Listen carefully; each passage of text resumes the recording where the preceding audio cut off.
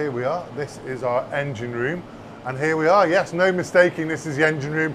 It smells different, it sounds different, it even feels different. It's a little bit warmer than, uh, not as warm as I expected actually. I thought it'd be very hot down here, but it is certainly warmer. And I've been told that we are going to meet Simon, who helped us out in the winch room, and I think he's going to be down here for us to show us around. Yes, Simon. Oh, hello again. Good to see you. Oh, yeah, thank you. You found, Uh, you found, we found you. We Yeah. found you. So we're in the engine room. Well, you're actually in one of two engine rooms on the ship. Two. We have two engines in this side, and to, make us nice and safe, we have another engine room which is separate, which has two engines in on the other side. Okay, so is that in case one has a failure or yeah, or, or potentially or flood. Yeah. Okay. But we, we are more like a power station, where we have two two diesel in each engine room, one nine cylinder, which is the low one behind you, Okay. and that goes all the way down that hole there. And the small one is the one behind me, is the six cylinder. Right, and then that's mirrored on the other side mirrored as well. exactly on the other Okay. side. And what they do is generate electricity.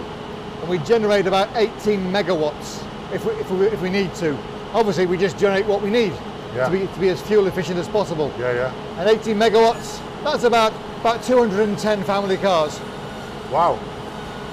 So yeah, so we generate the electricity here. All the services thing come, come to the engines and do that. The generators are just these big boxes to the side here. And then we take the electricity further down the ship to power us away. Wow. Amazing. So uh, do you ever use both engine rooms at the same time? Yes, particularly if we're going to be, when we're working ice, we Right. need all the power we can. Right, to generate more power to crush through the ice. Yeah. Fascinating. So it's not as it's not as um, warm as I thought it'd be. Is that because this one's not running? I, I guess the other side is. And also it's, it's October outside and we're bringing fresh air in to keep us cool. So actually we're bringing the outside air in and that's quite uh, got a bit of a nip to it today. Yeah, because my question was going to be really about conditions down here. I think I expected it to be like you see on, on films where everyone's really hot and sweaty and covered in oil and grime, and this is like really clean. It's really ambient temperature. It's, Yes, it's not what I but when the, as expected. soon the engines run, and you'll feel that when we walk through next door to the switchboard rooms, Right. the temperature goes goes up. And in the tropics, yes, this will be very, very warm. Because obviously you're bringing blowing air in there, which is nice and cool today at probably what, 10, 15 degrees. In the tropics, your cooling air is coming in at 35 degrees. Of course, of course. And how many people will be working down here in the engine room with you? We operate a couple of times. Obviously, it's not my usual place, but as we met before, the chief Yeah. engineer asked me to br- bring you down here. Great. There's a there's normally chief engineer who's over all the engineering on the ship, second engineer who's in charge of the engine room, and, Right. and she and she looks after that.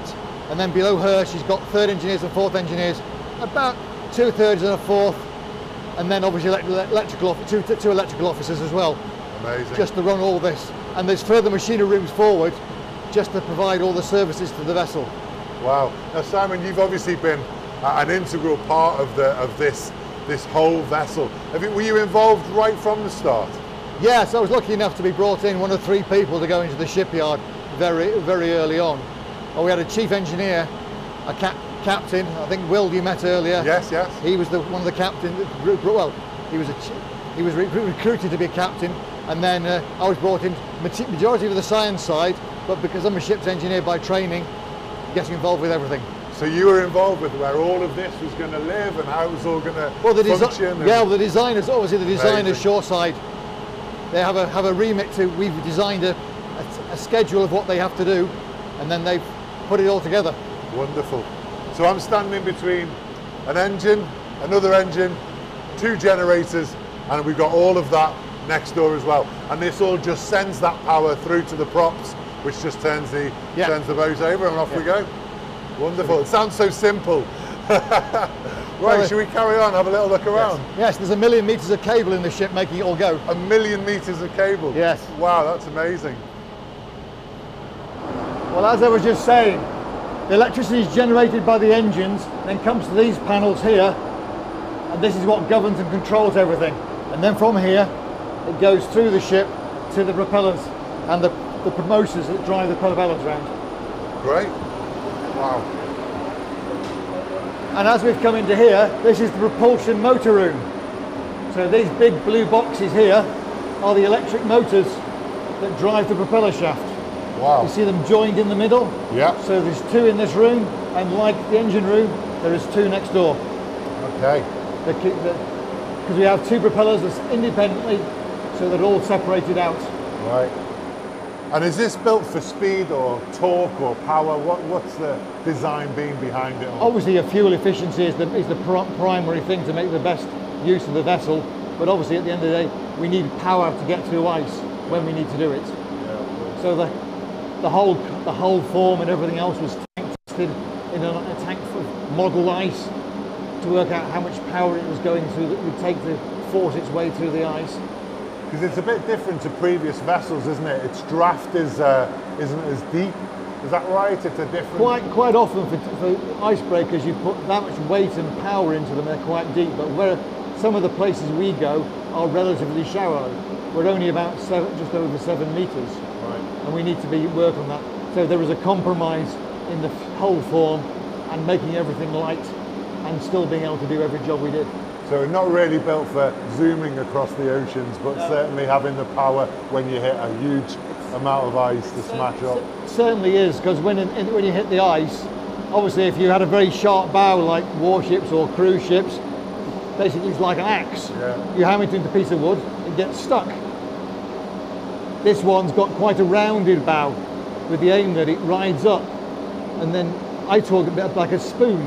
You push the spoon down and use the weight of the, sp- the surface area of the spoon and that just pushes the ice to the sides. Right. That's a new idea as well, isn't it? It's, it's the, previously it's been about cutting through, but this is about sort of squashing down. Is that right? Since we've gone, gone, gone to working with them, Amundsen, very, some of the ships were very round, rounded hulls, even back to Amundsen's time.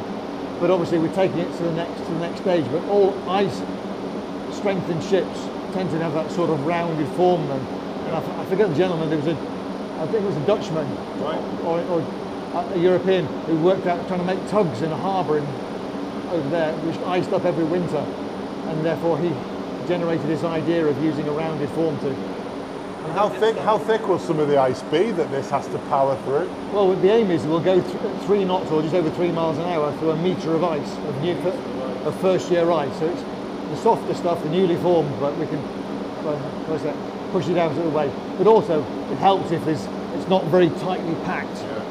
Because sometimes you can be a 100 miles into the ice and the wind, the weather changes and pushes it, pushes it and makes it much harder to go, to go through. There's no chance of the uh, the vessel getting trapped in the ice and frozen up, is there? I know that's happened in the past. Faith. Well, hopefully, yeah. I, I was on a previous ship and we were temporarily, because the weather's changed, it nipped us, and you get to the point where you're in, say, in the middle of the, off the, tens of miles off the coast, so you're in no danger. It's just easiest to wait for the weather to change, the ice to release, because you just then end up burning more fuel, getting to way, just bashing your way through, not necessarily going very far, very fast. Well, having seen this uh, this lovely ship that we're aboard, I think there's worse places to be trapped. So, um, listen, Simon, thanks once again for your time. So, what we've seen here today is that all of that power that we've seen generated in there comes through the control room, is driven through here, and then beyond there, we hit the props and the propeller drives the boat. That's the one. Wonderful. Great, we'll make our way back out. Thanks so much. You're welcome.